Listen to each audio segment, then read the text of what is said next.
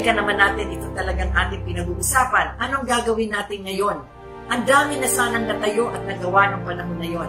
Kagaya ngayon, senior citizens hindi pwedeng lumabas at lahat. Alam ba ninyo, ang parating sinasabi ng ginawa ni Mrs. Marcos sa Cultural Center of the Philippines, hindi yan ang unang ginawa niya. Ang unang tinayo ni Mrs. Marcos ay dalawa.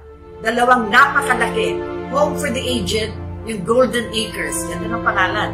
Yan yung mga matatanda na na wala na nag-aalaga sa kanila, na wala na pupuntahan.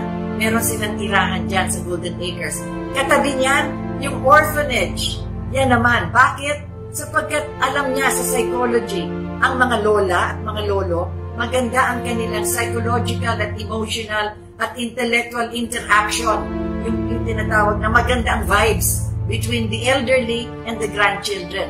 Kaya pinagtabi niya yan. Yan ang unang-una niyang ginawa. At naisip din niya, maliban dyan, yung magtayo ng cultural center sapagkat ang dami nating kagalingan na katutubong kagal kagalingan ng ating mga kababayan. Hindi ko in culture and in art, ang dami nating maipa maipapakita sa buong mundo. Kaya sabi nga niya, sa, sa gitna ng ating kahirapan, nagaya na nangyayari sa atin ngayon, sa gitna ng ating paghihirap, meron tayong pwedeng ilabas the creative powers of our mind, the creativity, which is the highest, the highest level of excellence of any human being. Kung kayo nakakapagkanta, nakakaawit, kayo nakakagawa ng, ng mga paintings, mga sculptor, yan ang kanyang sinasabi, pwede tayong magkaroon ng sanctuary of the Filipino spirit. Yan yung cultural center. Maliban dyan, tinuloy-tuloy na rin. Philippine International Conventions, lahat na yan. Hindi ko na dapat kailangan pa idiskurso o banggitin pang lahat. Ang ating sinasabi lang ay, samantalang merong nagawa na nung panahon na yon, hindi na ito napagpatuloy. Sa ating ngayon na na-experience hirap tayo sa ating kalusugan. Bakit? Health services. Ilang ospital meron tayo sa buong Pilipinas? General Hospital sa buong Pilipinas. Diyos ko po, ilan yan? 78? Ilan ang ating bayan 1,540 towns and cities, 81 provinces, 17 regions. Meron ba tayong nagawa na dyan sa mga rehiyon na yan na kagaya ng tinayo dito sa Metro Manila, tertiary hospitals, heart center, lung center, kidney center, bakit hindi na pagpatuloy yan? Bakit yun sa 20 years? Samantalang hindi lang pala 20 years, doon lang sa huling 10 years nung panahon ni President Marcos, yung heart center, tatlong buwan. Yung heart lung, center, apat na buwan. Yung isang kidney center, ganun din, tatlong buwan. In, in one year, tatlong tertiary hospitals na tayo. Ito, 35 years since that time. Ni hindi man lang na-duplicate ito kahit na lang sa mga rehiyon natin at sa ating mga probinsya. Ngayon tayo nangangailangan ng mga ospital at tingnan natin din ang sistema ng ginagawa ng ating edukasyon at lahat ng mga tulong na kailangan ibigay natin sa ating mga kabataan.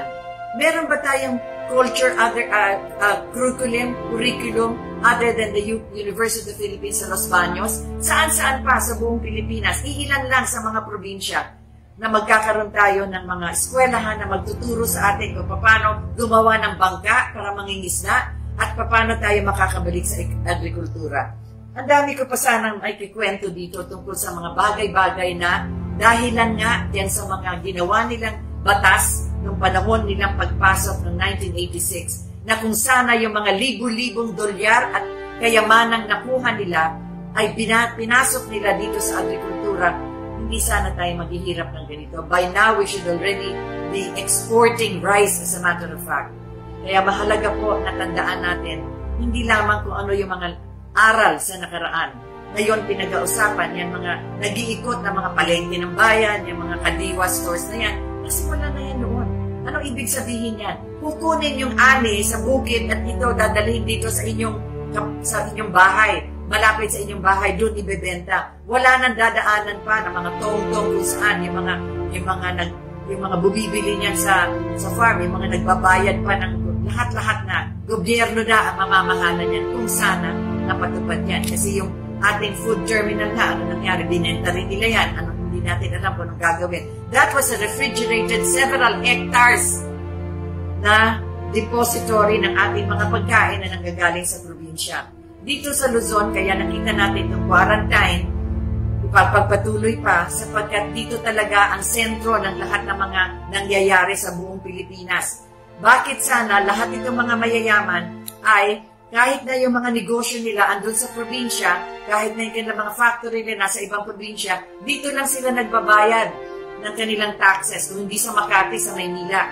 Sana ito ay ikalat nila kung saan yung kanilang mga tinatayong mga factory, doon sila magbayad para naman yung mga bayan doon at yung mga probinsya doon kumita doon sa taxes na kanilang binabayad.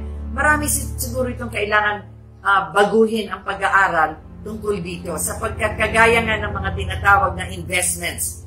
Noon, prior to 1986, malaki ang ating emphasis, ang emphasis ng ating pamahalaan sa agrikultura at kadugsong niyan o katabi niyan, industry, agro-industrial, para yung mga processing nito mga inaani sa mga kabukiran, yun ang gagawing yun ang investments na sana itong ating mga doon sila pumasok para ipagpatuloy yung mga production diyan sa ating mga kabukiran at sa ating mga karagatan.